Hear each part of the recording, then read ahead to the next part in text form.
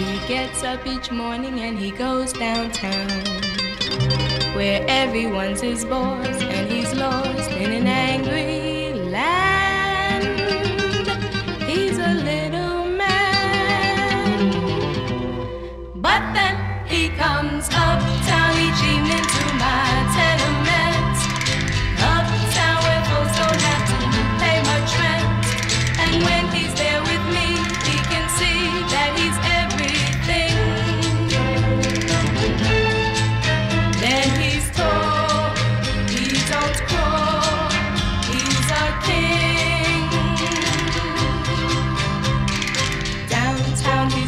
one of a million guys.